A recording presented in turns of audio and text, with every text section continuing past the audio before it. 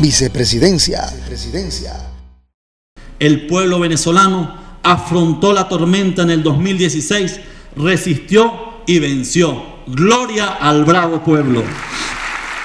Ha sido el 2016 el año de la mayor demostración de lealtad por parte del pueblo venezolano al proyecto histórico de la revolución bolivariana y el año de la mayor demostración de amor por parte de nuestro pueblo al legado inmortal del comandante supremo Hugo Chávez y a uno de sus dignos hijos, el presidente Nicolás Maduro.